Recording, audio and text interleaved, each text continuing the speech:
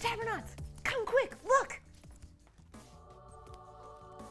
It's a caterpillar turning into a butterfly! Isn't that amazing? Have you ever seen a caterpillar or a butterfly in real life? Tap thumbs up if you have and thumbs down if you haven't. I saw a caterpillar in my backyard yesterday. It was eating a leaf nonstop. It looked like a lot of fun. Almost made me want to be a caterpillar. I see a lot of you have seen a caterpillar or a butterfly too. Amazing! And I bet you probably already know that butterflies start their lives as caterpillars. But have you ever wondered how exactly that amazing transformation happens? I know I have. Well, when a caterpillar is ready to turn into a butterfly, it attaches to a leaf and transforms into a chrysalis. This chrysalis is a new body for the caterpillar. While it's a chrysalis, it can't move, but it has super tough skin, and that keeps it safe while it starts transforming into a butterfly.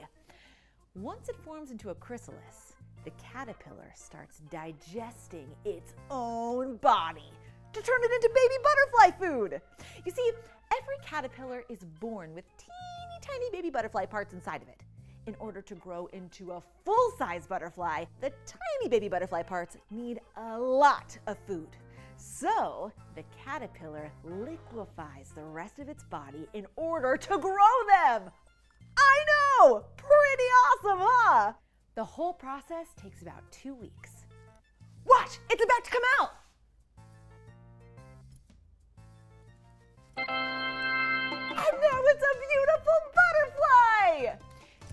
One last super cool butterfly fact.